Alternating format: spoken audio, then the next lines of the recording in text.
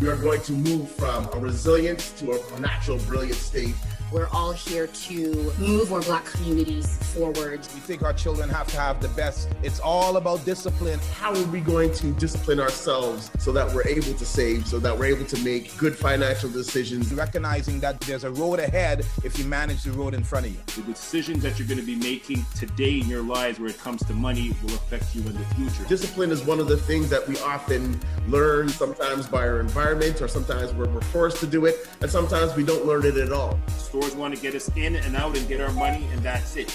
It's a game, so you have to be really wise to the game. Do you know what it costs to run your home on a monthly basis? Land acknowledgement.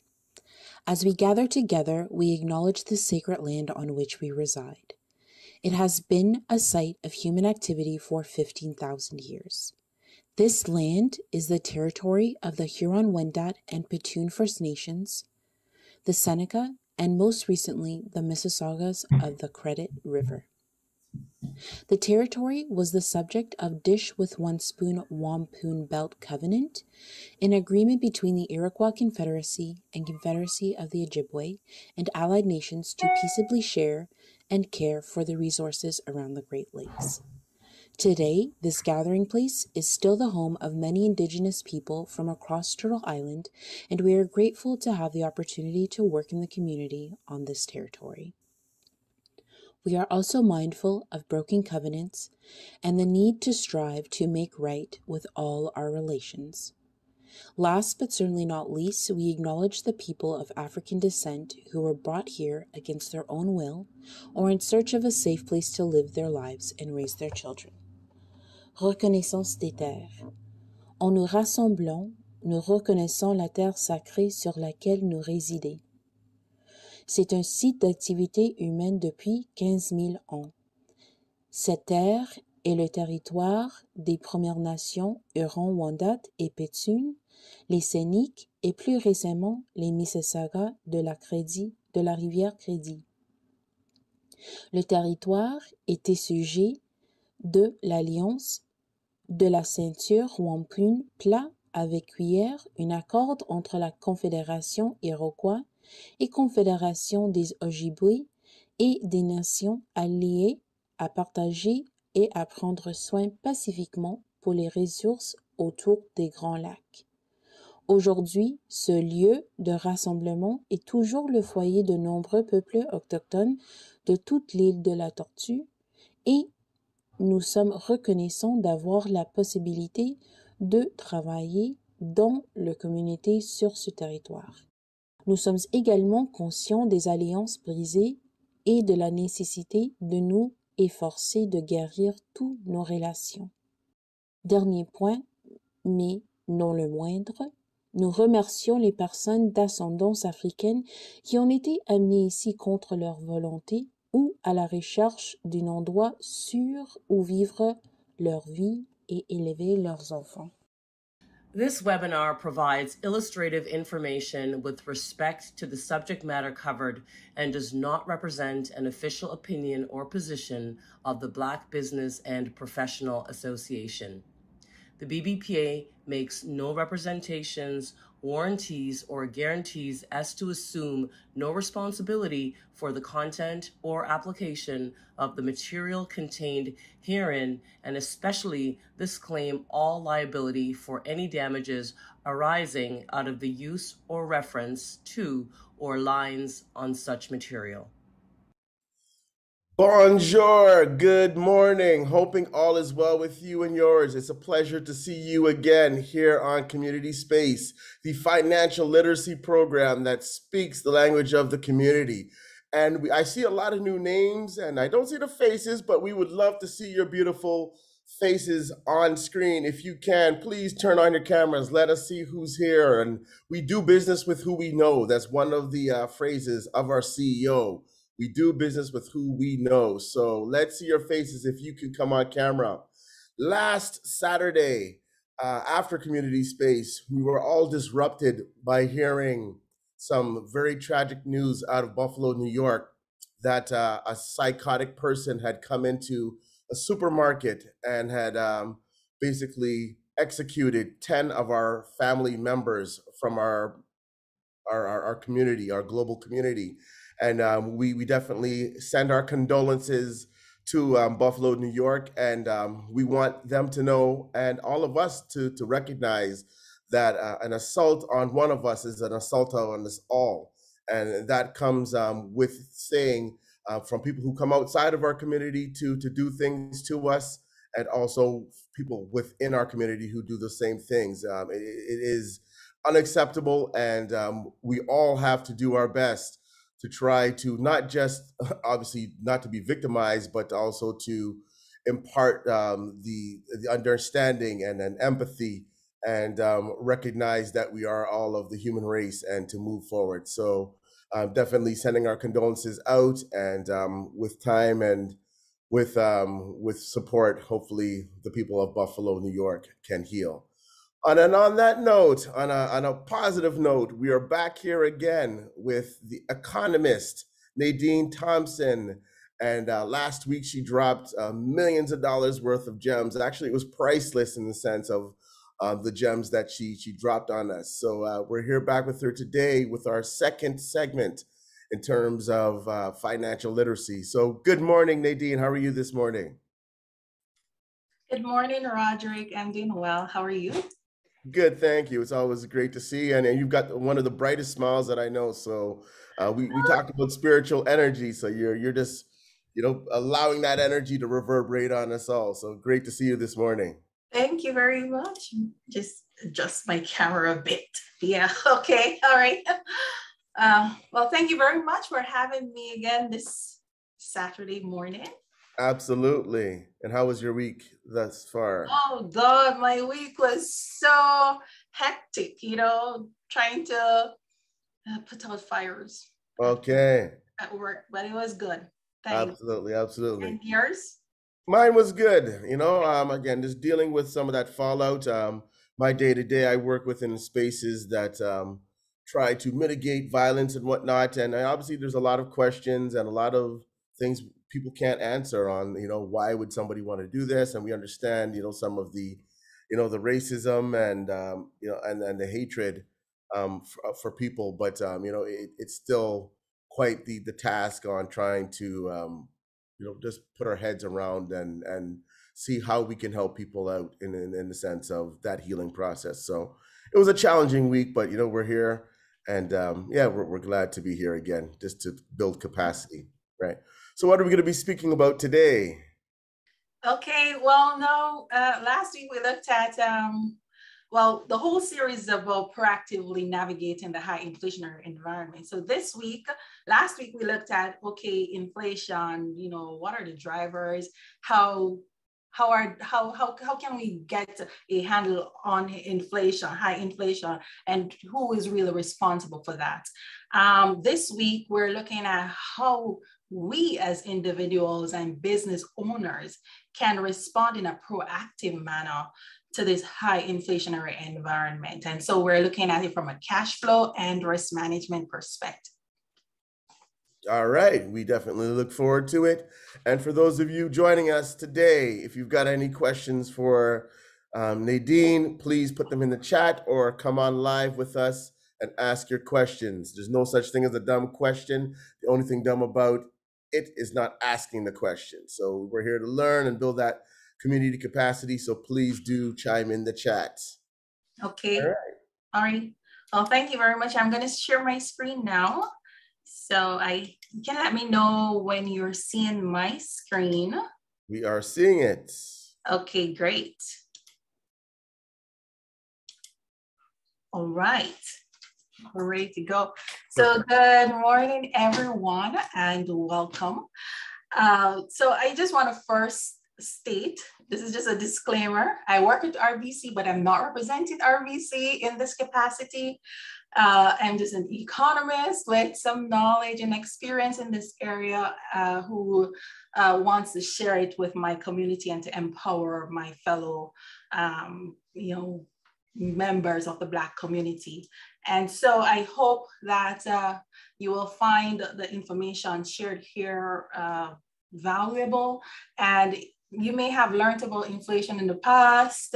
It might be a refresher for you, um, and it might be something new for you. Maybe there is some area you didn't understand before. I hope uh, uh, this whole uh, presentation and discourse will help to, you know, clarify those um, those areas.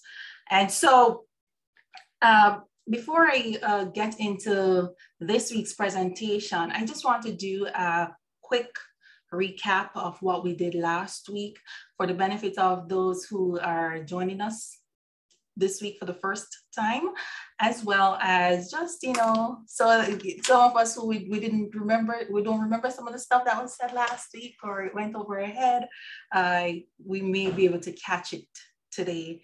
And so what I also want is uh, towards the end of this session, I want us to, to have like a, a more interactive session where, you know, we're hearing from each other. How are we navigating this high inflationary environment? And, you know, so that we can actually share and empower each other. All right. Absolutely. And if I just may add before you start, Nadine, uh, for those of you who missed um, the session or any sessions um, of Community Space, um, our trusted tech person, Victoria, will be putting that link uh, for, to see the YouTube videos um, in it. She'll be putting the link in the chat so that you can go back and, and watch anything that you have, might have missed in, um, in, in the previous sessions. So that will be there for you today. Okay, thanks. So last week we looked at inflation, the good, the bad, the ugly, and inflation management. This week we're looking at risk and cash flow management in a high inflationary environment. So, or recap, what is inflation? It's a sustained increase in prices, in the overall prices in an economy over a period of time. Uh, a simple definition is too much money chasing too few goods.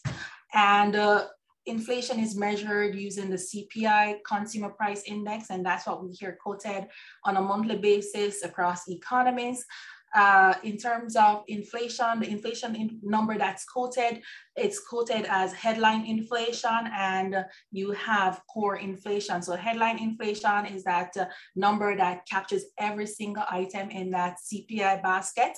And uh, a core inflation is that inflation number that excludes uh, food and energy prices because food and energy prices tend to being like drivers of uh, inflation. And so uh, we just want to like look at okay what's the inflation number? What's the price in the overall economy without all you know these um, variables that can be really um, manipulative over over the period and just for those people who um, weren't here with us last week, the Consumer Price Index, I think it was the CPI. Yes, the CPI, Consumer Price Index. Could you just uh, give us a quick, brief overview of that?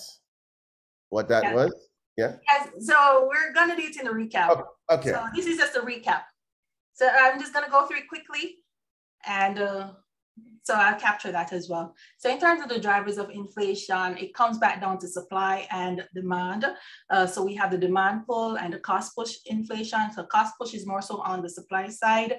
And then you have the built-in inflation, which okay, because you have a high inflationary environment, well, you know, people have less disposable income, well, they're going to ask for higher sal- salary. They're going to seek higher salary. And so you see where wages also increase in the economy.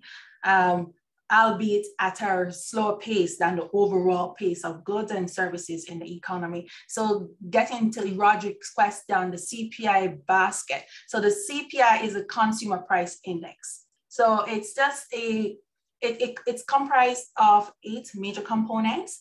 So um, Statistics Canada, when they're compiling this number, um, they're looking at all the prices pertaining to food that's in the basket, shelter. Shelter is usually like rent, uh, uh, property tax, not so much like uh, the actual price of the house. Um, household expenses, you have like clothing and footwear, transportation, health and personal care, recreational and reading, and alcohol beverages, tobacco. Um, And so there's actually a weighting that's uh, assigned to these items uh, in the basket. And you can see here that food, shelter, um, transportation, household expenses, as well as recreational um, expenses, those actually account for um, higher, relatively higher weightings. And so when you have price movements in, in, in terms of these products or components, then you will actually see um, one, depending on the weight, uh, skewing the overall inflation number. And uh, so when we, we, this, we looked at, okay, what are these components, what they look like in terms of the actual price. And so um, one of the things that I noted last week is that inflation information, it's actually, inflation is actually measured um, like the, the number that's quoted um, in the press, it's actually a year over year number. And so for, for March, um, the, the data we had then, um, the inflation was 6.7%, and we looked at the different components that were actually driving that 6.7% relative to March 2021. And we saw where, well, everything that consumes or utilizes some amount of gas, crude oil, energy, they were the, the main driving factors. So you see transportation, you see gasoline, um, and also just looking at uh, the overall uh, energy prices, you're, you see that's real, those are real driving factors. And then you also have um, food. You see food and shelter also accounting for a notable um, contribution towards overall 6.7% that we saw in the economy. Then we said, okay, all right, most of the times when we hear about inflation, we always hear about all the negative things. The first thing we, we think about when we hear higher inflation is that, oh Lord, I don't have enough money, you know, things get so expensive. Um, so, but there is actually a good side to inflation. And well, you know, inflation, it's actually should, ideal inflation should be you know, low, relative to moderate increases over time, not what we're seeing now. And so um, when is inflation good? When it is low and stable. And most central banks that have inflation targeting regime, they target a 2% inflation. Right now, I don't know if you follow like Japan, but Japan, Japan has had like a deflationary environment for like years. And no matter what they tried, they could not meet that 2% inflation target. Lucky for them, they're now at that 2% inflation. And, you know, while the world is like, okay, you know, grappling with this very high inflationary environment, then you also have wage growth because, as I mentioned before, with, you know, the erosion of your or disposable income, well, you know, we're going to need to survive. All right, cutting expenses may not be enough. And so we need a bump in our salary or wages. And so employers will increase salaries and uh, in order to also keep their, their workers. And, but then most of the times the growth in wages is not really, it's not equivalent to the growth in prices, overall prices in the economy. And if you're holding like assets, um, like houses or anything in your portfolio that is um, has a positive relationship with inflation, a high inflationary environment, you can actually see a growth in your portfolio, investment portfolio. So those, those are some of the um, advantages to having, you know, some of the good associated with inflation. And uh, we look at the bad and the ugly, and we're saying, okay, when is inflation bad? Well, when like now, persistently high, and so we see an erosion in our domestic in our um, disposable income um, so we have lower purchasing power and that can actually result in lower standard of living over time especially if uh, we're not in a position to increase our income um, and to offset the decline in our overall you know, purchasing power. It also impedes business planning and growth. There is a potential of hyperinflation, which is runaway inflation. Um, and it can lead to stagflation. Stagflation is where you have high inflation, low growth, um, and unemployment. Uh, there's economic uncertainty, and that economic uncertainty fuels like uh, you know it, it, it's like it, it doesn't uh, uh, it's not conducive for business planning and even as a even for your personal um, planning as well in certain certain if, especially if you're considering certain major um, investments. Uh, it, it, erodes a country's international competitiveness because of the impact it has on the exchange rate. So the exchange rate tends to depreciate. And while a, a depreciated exchange rate is good for export, but you know, coupled with high interest rates and the higher cost of goods for your higher cost of inputs, then your ability to compete on the international market, especially if your competitors are able to produce at much lower prices, is going to be very challenging.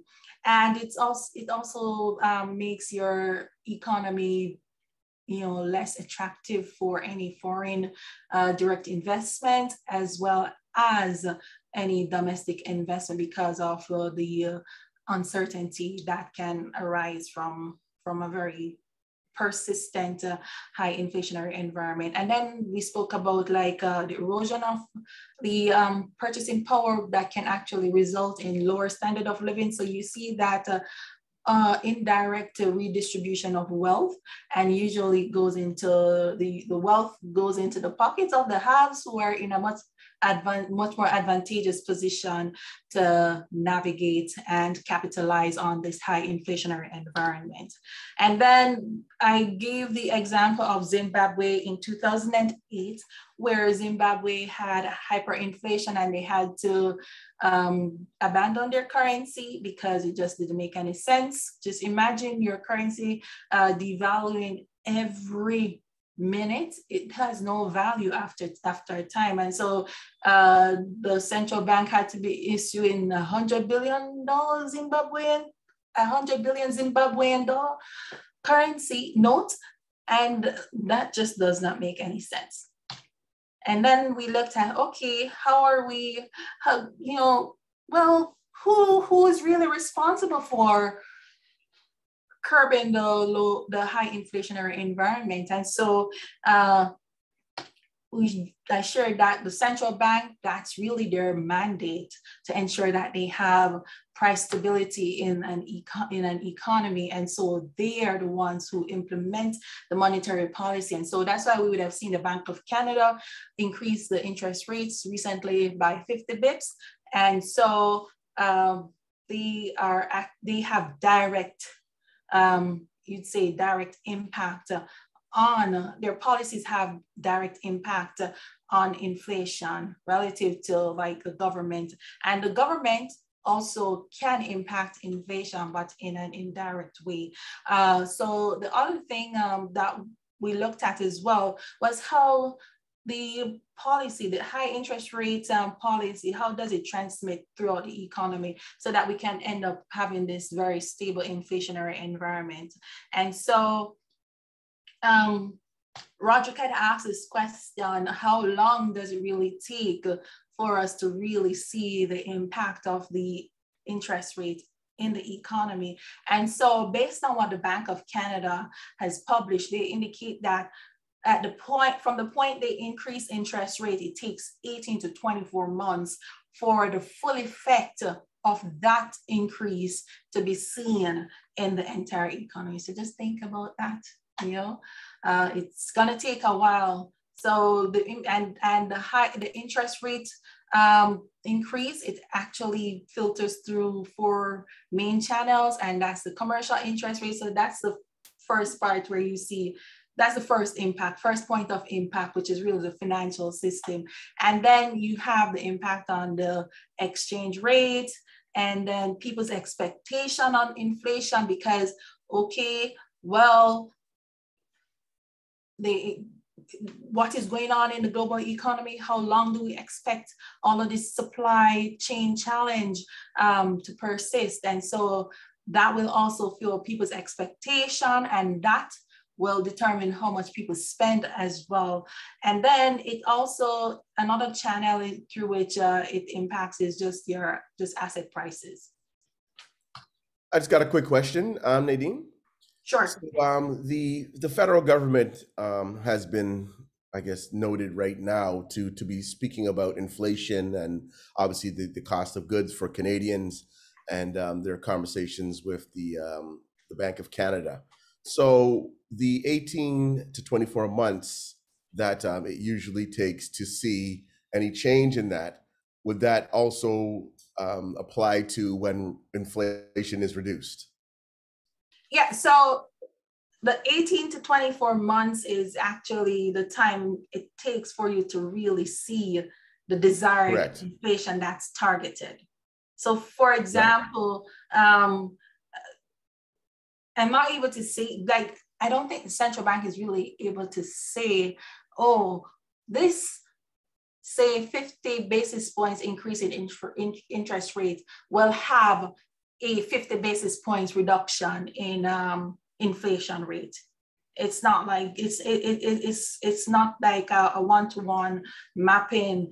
Um, so so but then they're able but just based on studies and how like from the point they increase the interest rates or change see whether they're increasing it or decreasing it based on the environment the impact on the inflation it takes for you to really see a dent or a change in the inflation through a, a notable change in the inflation number, it takes 18 to 24 months.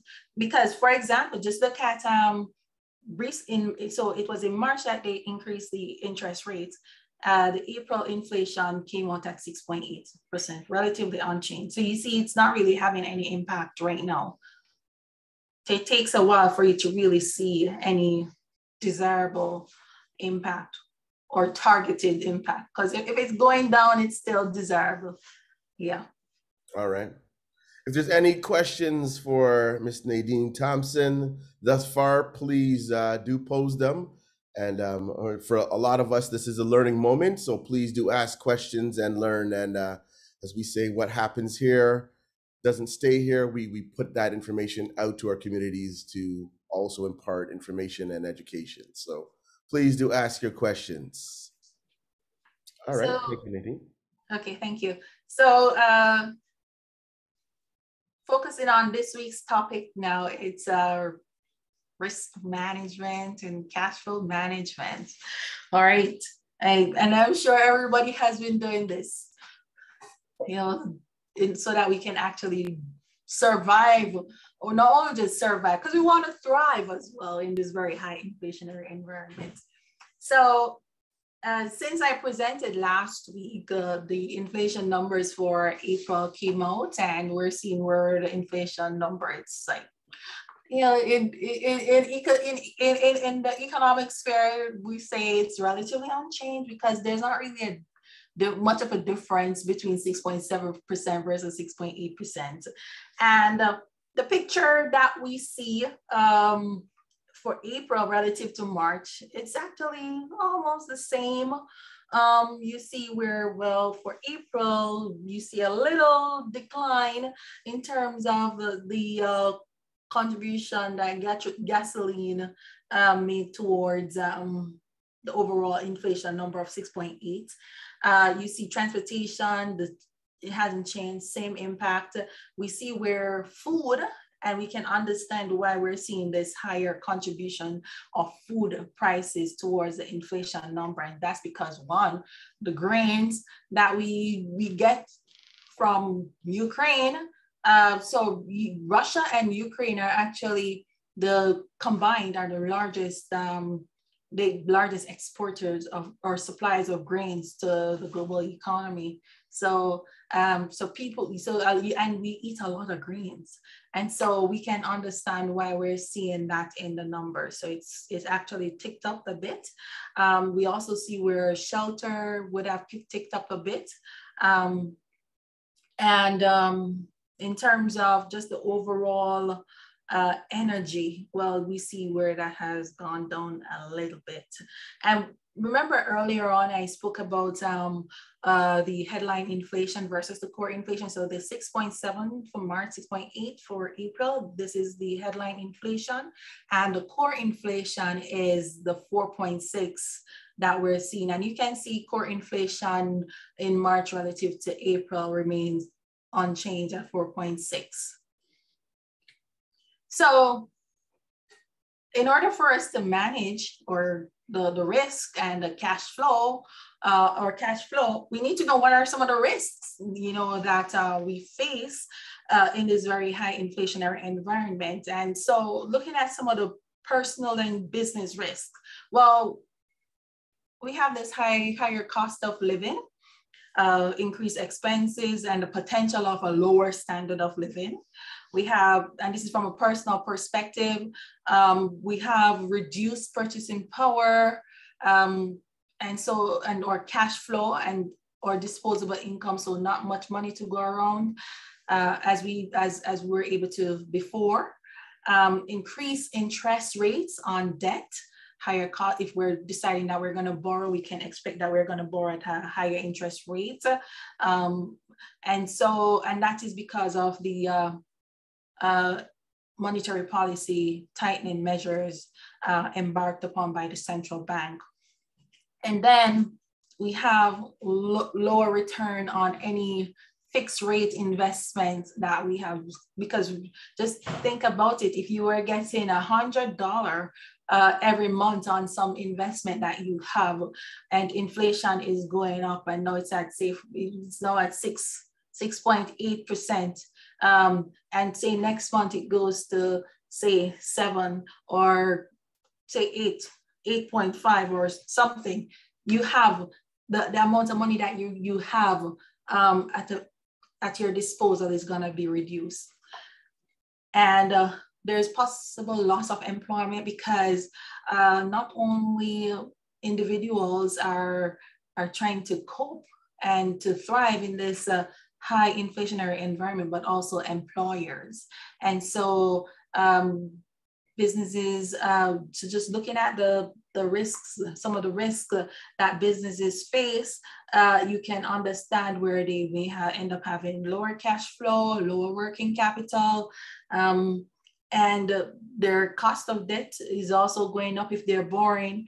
And all of these costs of you know their uh, just cost of doing business because one raw material costs going up for them manufacturing costs going up all the overhead costs going up. And so they're one of they're they're they're they're, they're going to want to try and cut back on some expenses. And then they may look and say maybe i don't need this person you know and i'm going to cut so that's a potential risk that we face from a personal perspective. And from a business perspective as well, uh, there's a potential loss of customers because um, if the business is unable to absorb the higher cost, then it's going to pass it on to um, the customer. In the event that the product that the, or the service that the business produces, there is a substitute for it, the customer is going to leave and they're going to go and they're going to get that substitute. And with all of these taken into account, there's a potential that the business may close if it's not able to thrive, ge generate cash flow, and make uh, even break even. It's it's gonna close. So that being said, uh, Nadine, we have a question, and it was actually uh, what I was going to ask too, but it's from our brother Sankofa. So, are we in trouble in terms of uh, seeing a recession um, whether that be a global recession or a North American recession um, with this prolonged high inflation? That's actually a, a risk uh, that's on the horizon. And that is why you heard, uh, I don't know if you've read or heard recently where the US Fed chairman says that we're going to continue to increase interest rates until we, we have inflation under control. And so um, and that is because they're trying to avoid a potential recession because uh, as I mentioned before, uh, there's a risk of stagflation. And that's where you have the high inflationary environment, you have low unemployment and low growth. And so that's a risk that um, that's on the horizon that a lot of central banks are concerned about and are trying to best navigate. Right. So when, for those people who weren't here last week, so when the central bank increases that interest rate, uh, people obviously won't be borrowing money as as much, so that will um, put a slowing on the economy, which there thus will have, I guess, um, a- an impact on the inflation rate of inflation. Yes. Correct. Yes. And um, So is it like forcing the hand, basically, in a Yeah. sense? Of, right.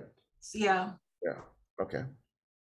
Otherwise, otherwise, just imagine you have this low interest rate environment persisting in a high inflation and inflationary environment, and people are, you know, people are gonna still borrow. Just, just, just look at even like the housing market. Inflation numbers started to really, you know, increase aggressively last year, uh, but then interest rates were so low that the high inflationary number didn't really deter people from borrowing. And so uh, when you have now the higher interest rates, a high inflation rate, well, that's a double whammy. So you don't really have like a, a lot of um, uh, disposable income to put towards like any expense that's really not essential. So we're now gonna look at combating the negative impact of inflation because um, our objective is not just to survive, but we also want to thrive. All right. And so this is more from a, well, we can look at it from a personal perspective as well as from a business perspective. And so I, I don't want to really make it very complex, but the principle of price elasticity of uh, demand um, that's where like the price elasticity of demand, it, it, it, measures how responsive your demand is to a change in price. It's like the percentage change in your demand relative to the percentage change in price. And a good that's elastic is very sensitive to, to, to, to price changes. So it means that if there's like a 1% increase in price, you may actually see a 2% decline in demand that's for like a good that's like very elastic. And then a good that is what we call like inelastic or perfectly inelastic. No matter how much the price increase, the demand remains the same. So, so in this case, you have essential goods, all right? And so you can see here where you have goods that are essential. Uh, they may there's they, they may not be inelastic, but they are still goods that we need because they're essential. And so you'll see where the quantity that's demanded uh, relative to the price is actually smaller. So you see the gap between the price change and the quantity demanded is actually smaller. And so that's uh, where these we have to get these goods uh, no matter the price. Some people uh, may not be able to afford it, and so uh, they're forced to to just do without it. You know, so yeah. And then you have the non-essential goods, and you're seeing where uh, the quantity demanded significantly outweigh the fall in the quantity demanded significantly outweighs um, the price because these are just not necessary. This is like when you decide that you're gonna trim the fat. And so, and so this is from a personal perspective. Now, if you flip it and you're a business or a service provider, and your whatever goods you're providing or services, you can expect that this is what your clients, customers, potential customers are, this is what their response is gonna be. All right, if the good that you're on the service that you're providing is not essential, they're go you're gonna see a significant fall off in the demand for your goods and your services. And if it is essential, you're gonna see a fall off, but then this fall off is not gonna be that great. So if it was like a luxury car, you know, if you sell luxury cars, I think I saw car, car, Cargill here. And uh, so if you sell car, luxury cars, Cargill, you know, don't expect people are gonna buy those luxury cars because you know, like uh, not as many people, only like those really rich people will do that. Um, So how can we best manage these key risk exposures to our advantage? And so we need to have a game plan. The Roger, you're waving your hand Yeah, you know, I was just gonna have a, just a, a quick question, and, and maybe you'll be getting into this. So, is it better now at this point in time, before the interest rates uh, go up, to make these purchases, but based on inflation, obviously, because it's it's a higher cost now to purchase, or should we wait? Well, like so something like it depends on what it depends on what you're gonna purchase. Yeah, yeah, something like a house. Like again, a house obviously is is usually in, in, in most cases the biggest investment that we'll be making in our lifetimes for most of us, yeah. generally, right?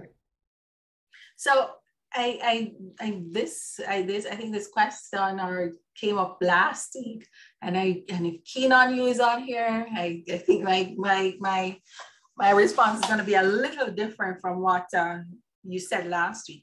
But if I'm buying a house to live in, all right, I have to take into consideration one, what's my um, disposable income? Can I afford it uh, at this time? All right. Uh, interest rates are high now. So it's going to make my cost of borrowing, the mortgage payments, monthly mortgage payments high. All right. And uh, two, the house prices are still elevated.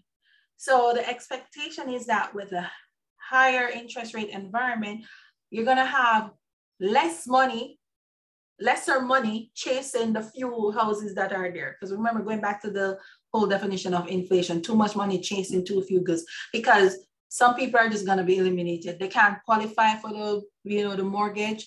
And so you're going to have less pressure from a demand side in the housing market.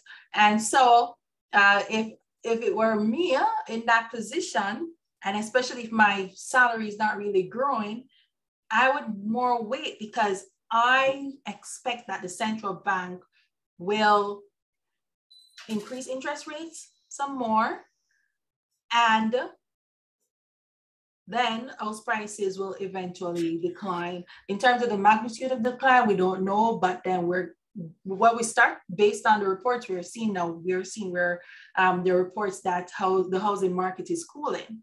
And so if I were if, if I were in that position, um, then I would want to wait, and especially given the economic uncertainty as well. So, but then say for instance, I am good.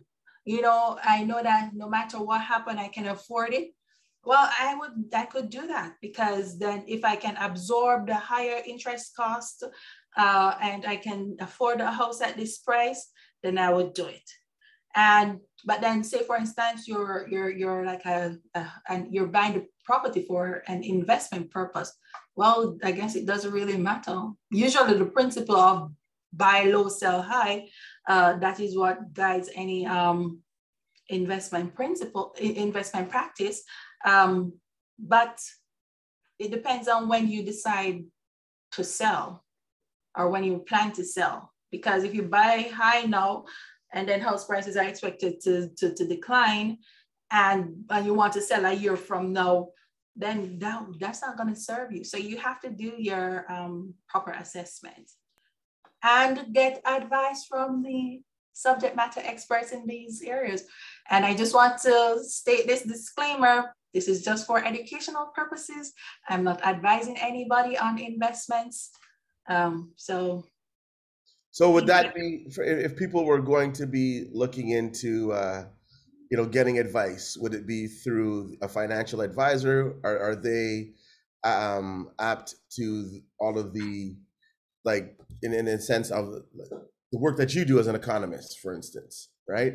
Would a yeah. financial advisor be privy to this type of information, or would it be uh, an economist that you would go see if you're going to be making a, a, large purchase, such as a house, which we're, we're looking at, like in the in the Greater Toronto area, for instance, over a million dollars? Well, financial advisors are licensed to provide financial advice on investment. If, for example, you're my friend and uh, you're coming to me as a friend to say, oh, what do you think? Uh, well, one, I'm going to be looking at the numbers, all right? And what's the outlook? And that, and my advice will be based on that. But I'm not a licensed finance, and, and there's unless the economist is a licensed advisor to provide that. I, I would recommend speak to your financial advisor because your financial advisors should be getting um, that information from their institution. But the extent to which they fully understand it, um, I can't really speak to that. Um, but maybe if there are financial advisors uh, in the room, you can um, say something in the chat on that. And I think like a financial planner as well uh, can also help you. Um, they may not fully uh, be versed in like uh, economics or, or deep economics, you know, but um, I'm assuming that they should have some level of understanding. Okay, great. But that's where I, I, I, you can I'd say you can talk to those people, but you can talk to other people who you know, you know, who are informed and, uh, uh, but don't, but you know, just know that when you're getting the advice from those people, uh, it's because you would have consulted them and they're not really giving it to you as in a professional capacity. Yeah. Okay. And if you have a trusted real, a real estate agent, they should really know this. And if they're really, they have your best interest at heart, you can talk to them too. All right. Yeah. All right. So, so, so here we were talking about um, um, how can, from a personal perspective, how can we best manage um, this and this environment, the risks, so that we can, um, you know, come out, you know, better than we started. And so it's very important to educate ourselves so that we can better understand what's going on. Um, so either we're gonna listen to some some some some podcast on on the topic, um, read, um, watch the news, and I just want to say if you're gonna like listen to podcasts or or, or go on YouTube or whatever, ensure that is really a credible source and what they're saying is really factual and it makes sense. Um, but education is so important because how are we gonna respond in, in, in, in the in the best and most um, optimal way if we're in, if we don't really fully understand what's going on and what we're up against. And the other thing, figure out what is the greatest impact to, uh, to your overall household um, in terms of, okay, is this something that I can cut? Um, or is there a substitute? Or if it's something that I cannot cut, then what else can I cut? You know, so that I can, even though I have to incur this higher cost, you know, I'm still not uh, uh, made worse worse off. And uh, planning and budgeting, uh, that's something that, well, I need to improve on. I don't know about you guys, but I, that's something I think everybody can improve on. Um, and then we also need to reassess our debt. Um, and uh, because with interest rates going up, well, we may end up, we may have some interest rate sensitive debt, which means that there are variable rate debts. And so the variable, the interest rate is going to go up, the monthly interest payments are going to go up. And so say, for instance, it's like even like you have like credit card balances, uh, think about um, trying to consolidate the debt and secure a lower interest rate uh, um, debt. Uh, and that will actually help a lot as well. And well, ask for salary increase. Um, you know, um, we receive not because we ask not. You know, lot, I think a lot of us are are are hesitant uh, when it comes on to this. But you know, if we feel brave enough and we really think we can ask, then I think we should ask. Or we switch to higher paying jobs and uh, or start a side hustle or get a second job uh, for additional income. Uh, and I think as well, it is so important that we invest in ourselves, like education, skill sets, because then, you know, in every, um, you'd say adverse situation, there is something good that can can come out of it and i think once we invest in ourselves and you know learn new skills it also increases our earning potential and in terms of like your portfolio investments i'd say you know invest in high yielding assets um, but just bear in mind that higher return normally is normally associated with higher risk. So if you're a risk, if you don't have a risk appetite that is, uh, you know, open to higher risk, then I'd say stick to, to, to safer investments. It's just that the safer investments don't give you that return that will actually outpace any inflation or offset the uh, negative impact uh, from inflation. And I'd also say just diversify your investment portfolio. So because uh, you, you, you, it's, it's never advisable to have a portfolio where everything is, the correlation between everything is the same.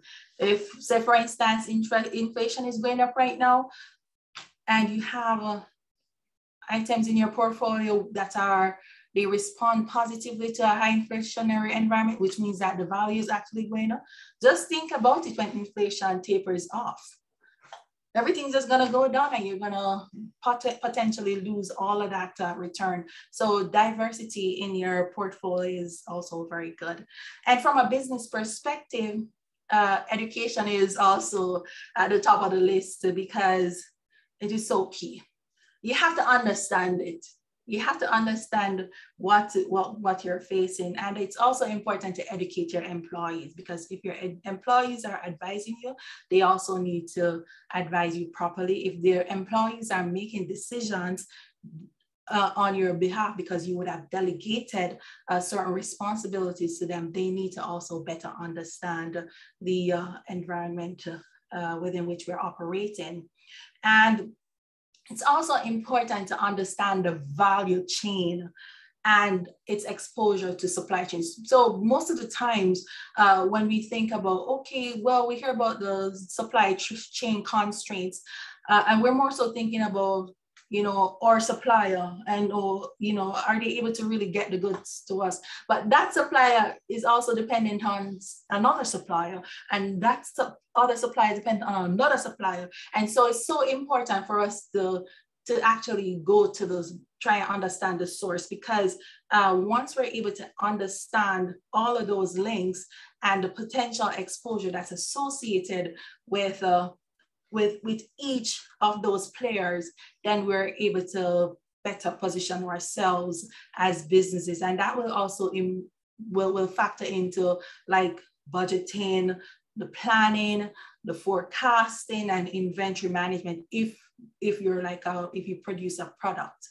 Um, and uh, also, I think it's at, the, at this time, it's also very critical that if you produce a good what or a service, assess how well it is performing. Is it something that you can continue to provide over, say, the next, uh, until the next year, all right? And if it's, for example, your only product, maybe you need to think of, or service, you maybe need to think of diversifying because if it's not performing well in this high inflationary environment, you you face the risk that you may actually go out of business. And so uh, assessing the profitability, of uh, the SKUs and or services is so important and improve efficiencies. Now is the time that we have to think about all, you know, the inefficiencies and ways that we can do things better within our organizations. And so that will also help to reduce the cost. So we're trying to reduce cost and we're and while at the same time trying to see how best we can increase our cash flow, we can increase our, our, our revenues. And similar to like, a, uh, you know, from a personal perspective, it's also good to just consolidate your high interest bearing debt and, uh, and see how you can get locked, right now, fixed, fixed rate debt is like very attractive because you know you want to lock in um, a relatively lower interest rate and, and especially if the expectation for interest rates is going to be uh, much higher than the fixed rate debt. And so that is something as business, uh, you know, we need to consider. Like if you want to retain your client as well, and you know you realize that they're they're really challenged by this high inflationary environment, then consider offering payment plans for them. Um, the other thing as well, the cash conversion cycle. So while we're thinking of offering payment plans, you're like, well, how does that make sense when you're saying try and reduce your cash conversion cycle? Well, we have to try and see how best your inventory, how from the, the money that you invest in the inventory, you can get it back from your clients through that whole cycle. And so if, if for example, you're offering, um, say, payment plans to your clients, uh, as well as trying to see how you can reduce your cash conversion cycle. It's a, I think it's a, a delicate balance that uh, needs to be managed very well. And uh, just maintaining healthy and ongoing communication with your clients, your customers, because uh, you don't want to lose your customer during this time. And also you have to bear in mind that the customers, they're going through the same thing. You know, um, they actually may be in a worse off position than you as the uh, entrepreneur. And uh, just keeping morale high within your organization. If, if you employ people, that is so critical because just think about losing your key employees. Um, and in an environment where the job market is so tight, uh, that's going to be a, a, challenge for you. And just investing and reinvesting in your business, that is uh, critical as well. So these, um, uh, these, uh, these are the suggestions. It's not an exhaustive list, but these are things that we can consider you know, as we think about how we can best manage these key exposures that was discussed before. Roger, you had any questions? Yeah. So a quick question. So for instance, a, a business owner, um, if there's a profit, obviously everybody has a profit margin when they're selling products, right? Um, if they were to make the decision to decrease the profit margin, so if the profit margin initially maybe have been, you know, five dollars on each product, and they were to say, okay, we'll we'll take a two dollar reduction, right? It will obviously impact our bottom line, but in the sense of keeping your customer base and being able to maintain that base, is that something that um, I guess um, business owners who are ethically um, inclined to to serve community and then look at profit margins, obviously, but not as their only basis of doing business. Is that something that some of them do? I would think some business would do that. But Roderick, when you talk about um, reducing your profit margin, it does not necessarily mean that the, the price that the consumer pays is actually reduced. So it could be that the um, business their cost, their inventory cost, uh, just the cost of producing the good is higher. And instead of passing that on to the customer, they absorb 100% of that cost. Uh, because one, pricing your product is, is it's so important because just think about it. Your price is a reflection of the value that of your product. And if you were selling at, say, $50 and now you drop the price and you're saying it's now at $45, like, you know, just think about the customer psyche and what they're gonna think. They're gonna say, you really, you, you used to charge me $50 for this. That means it's so the value that's associated with that product in the customer's mind is, it, it has declined. And is that something that you want from a business perspective?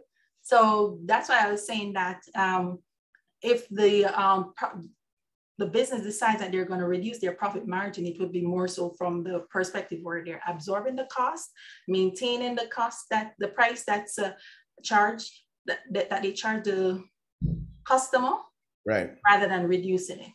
Yeah, yeah. I guess there's um, the potential risk of of that, but then I think a lot of times when things are high, people look for for sales, for bargains, and everything else also. So that I guess it, it all depends on. It depends on the product, and if you have Right, a sale. But then, but if you're having a sale, Roderick, is the price that you're gonna offer during that sale is it going to be much lower and so different from previous sales that you used to offer?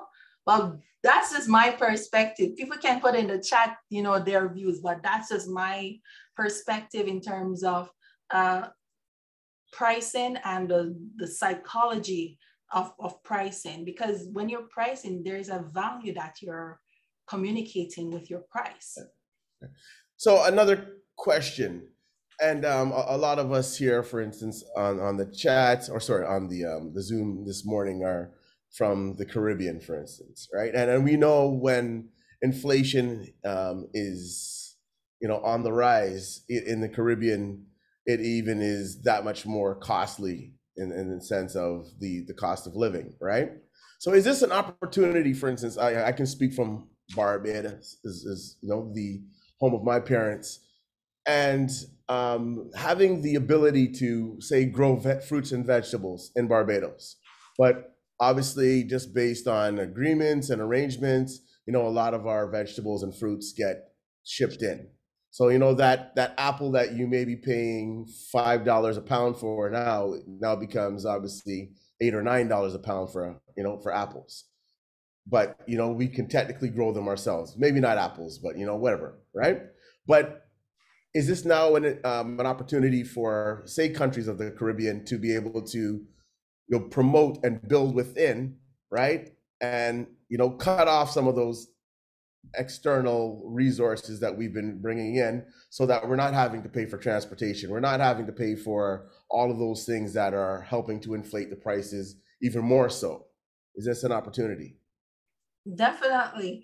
It's definitely a really great opportunity for countries to to look internally. Um, so a few years ago uh, in Jamaica, uh, there was this um, campaign about eat what you grow, grow what you eat. And um, just think about it. Potatoes, we call it Irish potato in Jamaica. Uh, you know, But, but in Canada, they say potato uh, because, you know, you don't want, it's like an offense to the Irish people. So I don't know, I'm like, okay. Yeah, but the government had implement because Jamaica was importing so much Irish potato, potatoes. All right. And uh, like the numbers were really staggering. And you're like, really? And so the government decided that they were going to promote the growing of Irish potato and reduce the um, importation of Irish. So that could have come through higher tariffs um, and stuff like that. But that's what happened. But it's always an opportunity because these islands are so import dependent. And so uh, a lot of import inflation is, is, is being um, imported in the economy on top of what's already there. So that is why it's even much more costly uh, for, for foods, for goods and services in those economies. And so if the government, they're able to, to, to, to implement policies, um, you know, allocate funds to support these, like the agricultural industry and and maybe more target not and maybe more targeted production of certain goods food items that would be really great. All right. So we've got a question from our brother sankofa. Good morning sankofa. How are you? Good morning. Um, uh, by the way, Nadine, I want to thank you for giving us some of the um, economics 101. Um, but me, me being a, a, a world historian, kind of asking the same question. So we know that the economics and all of that is a Eurocentric model, whether it's laissez-faire, whatever they're talking about.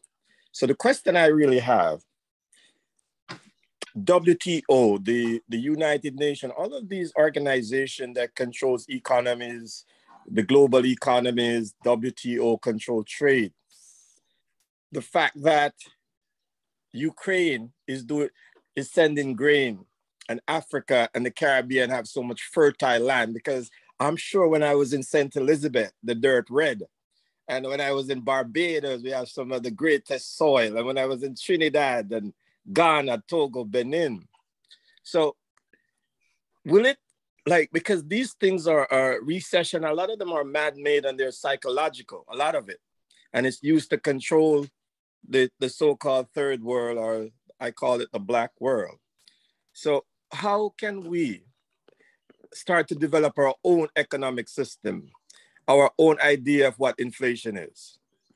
You know, because at the end of the day, the people who control the world are the ones who dictate. So I'm gonna leave it at that. I know it's it's big, but I'm interested in the big idea. Okay, thank you very much for your question. Um, so last week, uh, I shared that the CPI index that's used to measure inflation is not perfect. It's not representative, uh, representative of uh, the consumption basket of every single household within an economy, but it's the best measure to date. Um, and so to answer your question, if say these developed countries, developing countries are able to come up with a better measure of inflation, then that would be really good. And but another thing that I need to note is that the standard for measuring inflation is an international standard. And so just imagine if Jamaica was measuring their inflation differently uh, relative to the rest of the world. Nobody will really want to trust Jamaica's inflation number because Jamaica can overstate or understate the number. So say Jamaica comes up with a, a, a much better measure of uh, inflation so that it can capture um, the, the, the, expenditure across the economy. Uh, and we're talking about, in terms of inflation, we're talking about the consumer price index. We're not talking about the other measures of inflation like the producer price index. Um, it's more so the one that's that's that that that we all focus on. Um, so unless we're able to come up with something like that, then I think then we'll be able to, and we're able to, it is credible and it can be applied across economies, then I think that we would be in a better position. I hope that answers your question. Um, Sankofa. Saka, Saka culture. I think that's it. We know him as Sankofa. Kofa. Okay. All right. Yeah. All right. And so, um, so I just wanted to share this. So coming from um, the, the, the previous slide where we talk about how we can best navigate and you know how, what, what, what risk response we can have. So I mentioned the point about communicating with your, your clients, uh, showing empathy, um, you know, and just this is an opportunity for companies to build their brand loyalty and their brand power. And so this, this chart here just shows you, all right, products that are that have strong brand loyalty in a high inflationary environment, the fall off that they experience is actually lower uh, relative to those that don't have a strong brand loyalty. And so that is why as, as businesses or business owners, it's important um, that we build that relationship with our clients because as, as, as, as you know, it's often been said here uh, by the BBPA that, you know, your brand is really what your customer says about you. So just think about it. You know, if you didn't treat your customers very well during this time when they really need, they really need you, they really need your support and your empathy.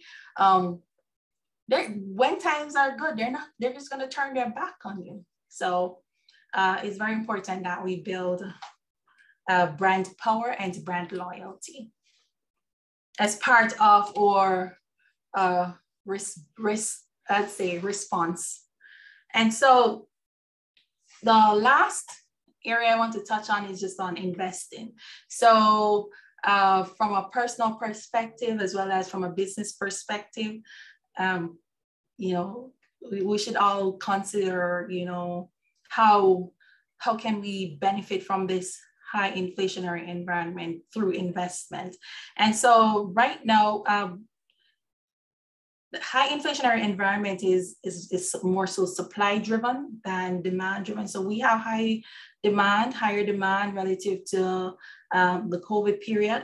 Uh, but then the supply growth hasn't really caught up with the high demand that we have seen. And so hence why we have this um, problem. And so uh, some ways in which we can invest, well, if you're thinking of like financial assets, you can think about like fixed income investments. And this is information that I I took from BlackRock. And BlackRock is um, it's an investment management company uh, that uh, their clients are more so institutional investors, but the principles that they share applies to any individual as well as say small, medium um, size business. And so uh, inflation linked bonds, because just regular, what we call it like plain vanilla bonds, um, they don't do well in a high inflationary environment because one, you're getting, especially if it's like a fixed rate bond, you're getting a fixed return. So the coupon rate on that is fixed. And remember, as I shared before, you're getting that fixed return, inflation is going up. That's actually eating out like the real, um, like your disposable income. Because at the end of the day, you don't really have as much money to spend or to reinvest if you decide to reinvest. And so inflation linked bonds are those that are tied to inflation. So inflation is going up now. So the return that you get on your bonds, it's actually, it goes up. So it's like positively correlated. And you also have unconstrained strategies. So unconstrained strategies is where uh, it's like the inflation interest rates can go in any direction, but you're still uh, able to benefit. And uh, then you have equities. So I should note that not all stocks, um, their value appreciate during an, a high inflationary environment. So it's very important to identify what are those stocks that thrive in a high inflationary, high interest rate environment. And that's where your financial advisor comes in. So um, investing in stocks is, uh, is also an option. And then you have real estate. Uh, keen on you, I hope you're here. So uh, keen on you, the, uh, they, they, they actually provide um, education on real estate investment. So uh, you can talk to them as well. Um, but then real estate, that's that's also an option for you to invest. I know Roderick you had asked earlier about okay when is it time to invest, but I said you know it's based on your disposable income. Uh, what are your targets? And even if, for example, you're investing in real estate to say resell, it also depends on the time within which you plan to resell as well. So those are factors that uh, have to be taken into consideration. And then you have commodities. Uh, well, food going up oil going up, everything commodity related going up. So commodities, these are like good um, investments right now. Um, so you have what we call commodities futures. Uh, so these are where you're actually, you, you agree on a price today and at maturity you you you you actually sell that futures but then you're for a futures contract you're not really taking delivery of the physical commodity it's done on an exchange. And so this is a way in which uh, you're able to also invest and make money. And you also have commodity related uh, equities that you can invest in. And this is where like an investment advisor the, the, the role of an investment advisor comes in here because they are supposed to be really equipped to, and inform on the different options that are available. And that's it. So thank you very much. I hope uh, you found this session beneficial. Um, you learned something. Um, you if, if you knew it before it was a refresher for you. And uh, i hope uh, uh, it helps you to uh, be in a position to better navigate this high inflationary environment. All right. Thank you very much nadine thompson for all that information. Again uh, lots of information um, lots of new information for I, I, can probably say for the majority of us. But here's the the time we can ask questions. So everything you wanted to know about inflation um, let's ask it right now while we have our economist nadine thompson with us here this morning on community space. So you can drop your questions in the chat or you can ask them live. And uh, roderick so just to add, so earlier on, I had said that uh, I wanted to hear, you know, I wanted the session to be much more interactive. And so it would be really great to hear uh, people's view in terms of what what are they experiencing, what um, uh, actions, uh, you know, they have taken to navigate this environment so we can all benefit from this discourse. Right.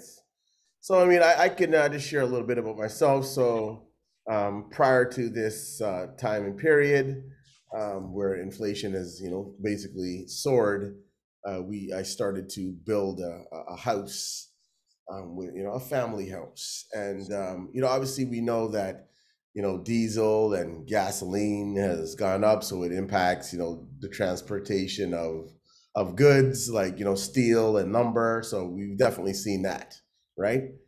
But um, you know, I was just talking with the builder yesterday, and and you know, basically he was saying what Sankofa was alluding to is that um, you know it, it is psychological because now in other industries, excuse me, that are not impacted as much as like for instance lumber and steel, right? You know, everybody's doing the copycat thing, right? So everything is everything has gone up, and it, even in industries that aren't again impacted, right? So um, you know, obviously, there's nothing really much we could do. But um, that being said, I think you know when we look at our, our, our Caribbean countries, as I was uh, talking about earlier, there is great opportunity right now for us to hopefully um, see past the immediate, the surface, and look in in terms of long term um, decision making and and having things more insular as opposed to relying on everything for you know our, our, our, countries to be fed or to be serviced. Obviously certain things will have to be still coming in but um, other things we we should definitely you know hopefully see the opportunity to to break away and, and to be much more self-sufficient. Because um, obviously when uh, our, our economies our, our, black economies are impacted by um, external forces you know we even bear the, the, the brunt of the the punch that much larger and it, hurts more. So I, I think you know this is an opportunity, and, and not just for Caribbean countries, but even here within you know North America. What can we do as a community, right, to to build now in these days and times where we can hopefully continue just to impact a, a new narrative on on how we can do things. So that was a, a comment slash kind of question. So what can we do now as a community? Where can we have like food? Like obviously we know now in the summer months, and I, and I, I'm I'm using a couple of examples. So I know we've got um, uh, you know black, some black farms even here in, in the, the, the GTA um, that provide farming and, and whatnot. So obviously that can have an impact on the cost of fruits and vegetables, for instance, right? But what are some of those other areas that we can, as a community, can do so that we can have more self-sufficiency and not have to, you know, necessarily pay the the out of the sky prices or you know or have some impact that we're padding ourselves a little bit more what are some of those economies that we could do i think you're on mute now. Nadine. Thank you. Um, so well you mentioned one like food. That's so important. So if we were just to go back to the uh, cpi basket um, and what is it that we can really which one of those um, uh, mm-hmm. components we can really um, it, it's easy for us to to find a solution for well food is one but um, i'm not sure how easily that's gonna be like now in the summer months you can do your backyard garden your front yard garden whatever mm-hmm. and that will help uh, but one of the things that I was thinking that would be really good for Canada because like almost every food we eat and fruits we eat, they're imported. I'm like, why don't we have much more like uh, greenhouse greenhouses, you know, like farming um, taking place. So uh, that's like an, an opportunity that exists that, uh, you know, can be pursued.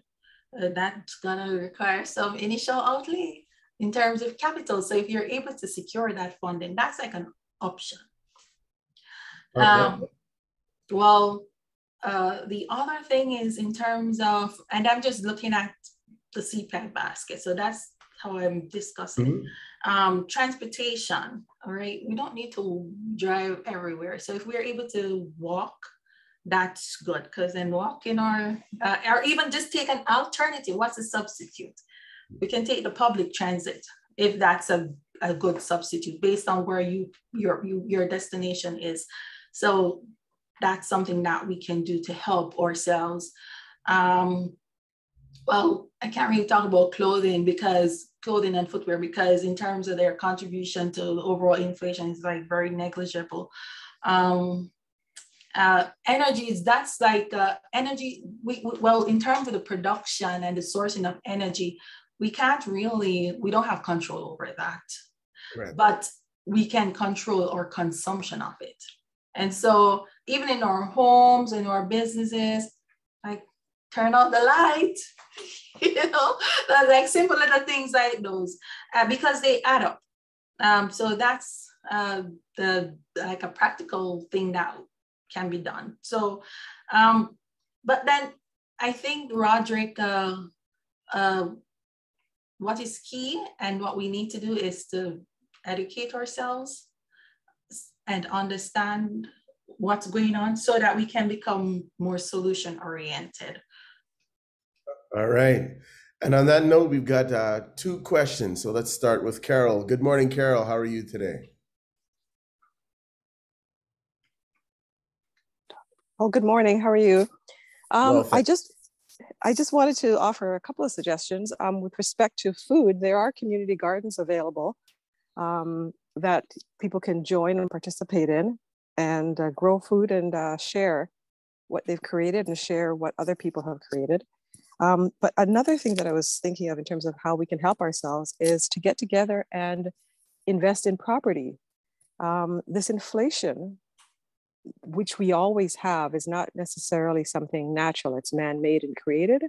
It's a way to transfer funds from the poor to the wealthy. And it's just been accelerated during this particular period. But what's happening is that the value of property is getting extremely high. Like in Markham, um, properties are going up f- over 40% per year. So if people were able to come together and invest as a group into properties, that would be one way in which they can um, reap some of the benefits of inflation. Absolutely. That's that's really a good suggestion, Carol. Uh, a friend of mine who does um, real estate investment, he says, you know, one of the things that uh, the Black community doesn't really do well is, you know, collaboration. So you'll have like uh, uh, the other communities, um, you know, they invest in properties. They group up and they invest in properties, but in the Black community, there's too much mistrust. So I think if we're able to overcome that barrier first, and there are ways in which we can overcome, you know, the mistrust. Um, I think that will help a lot. Right, and um, I think that goes again back to Sa- Sankofa's point, and a lot of this is psychological and um, understanding where that mistrust has originated from, and uh, being able to course correct that.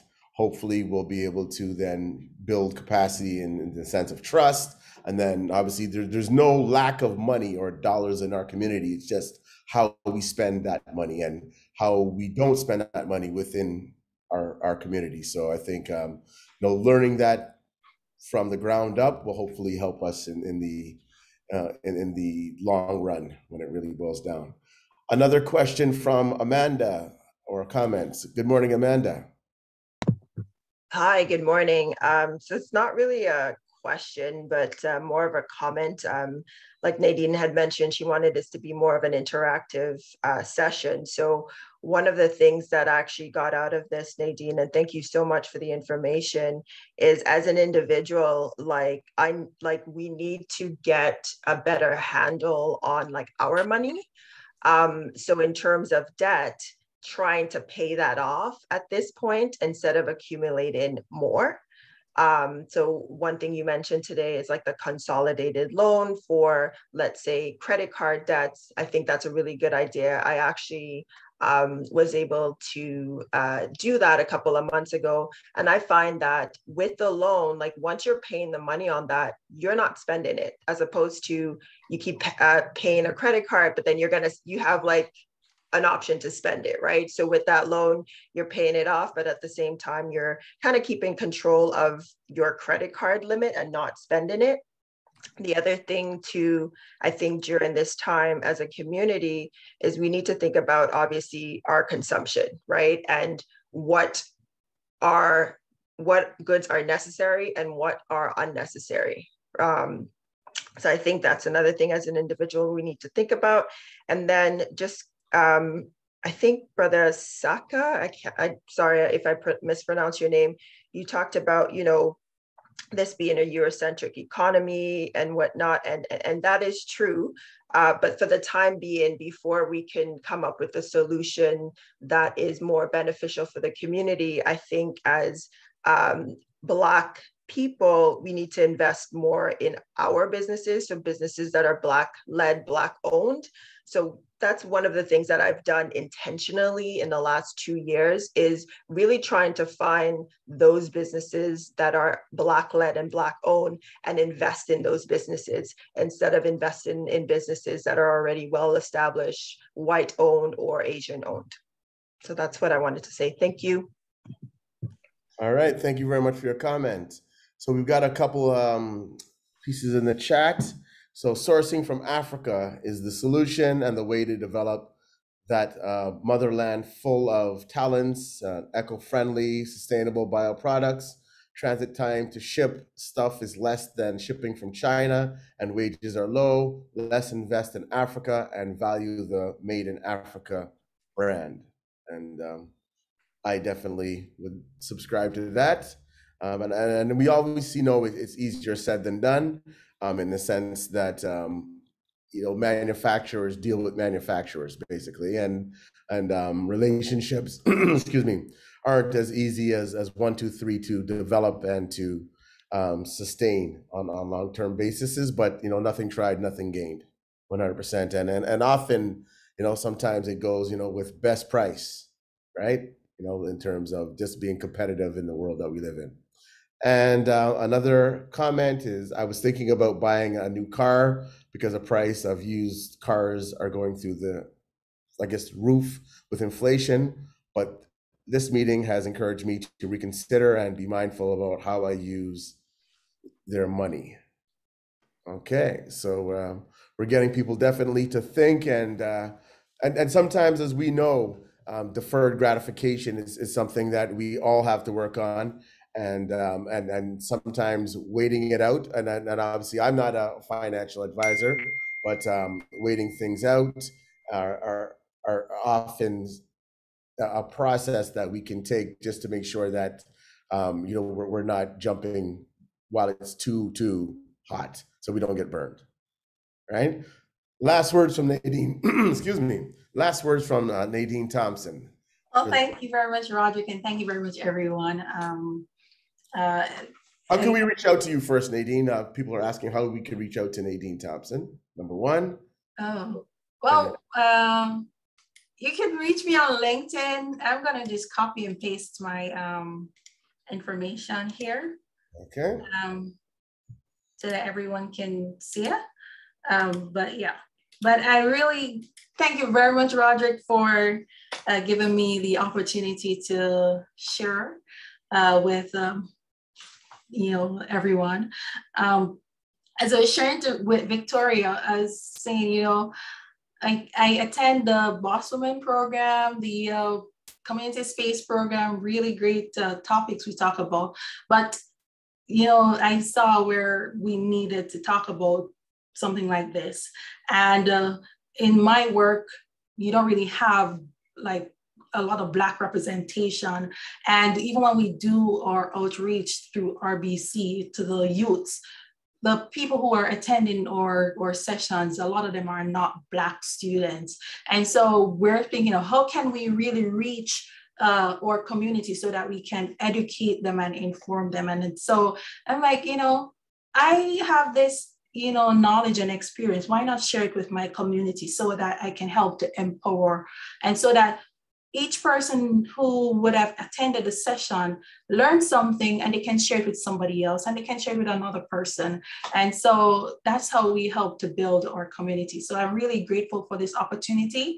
And uh, Thank you very much. I just want to say the last thing, the, the one thing that's always certain is uncertainty. And every day there's always an opportunity.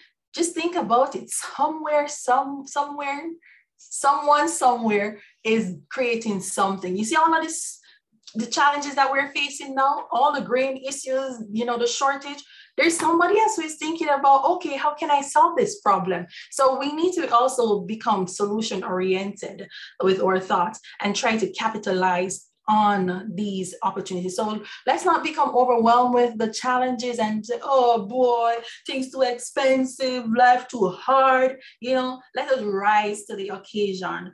And so that's what I want to leave everyone with that, you know, there's an opportunity for us not just only from a personal level, uh, but also from a business perspective. And so thank you very much. And thank you very much again to all of you uh, for joining us on another session of Community Space, the financial literacy program that speaks the language of the community. So uh, please do join us next week, same time, same place, here on Community Space. Take care, be safe, and Power to the people. 100.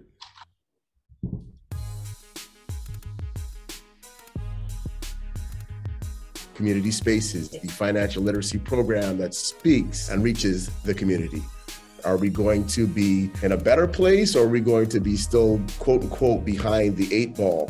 Because of the historical disadvantage that our community has, we most times do not have financial role models. Without that, economically and financially speaking, we'll always be at the bottom. Keep proper books and record because the data drives the strategy and the strategy drives the profits. COVID 19 sort of removed a veil. It's really exposed the structural barriers that our communities face. These last two years, where there's been a heightened emphasis on the well being of Black people, has influenced the influx of funds and opportunities. The time is now. How long is that window going to be open? We'll see you next week. And don't forget to tell a friend to tell a friend to join us here on Community Space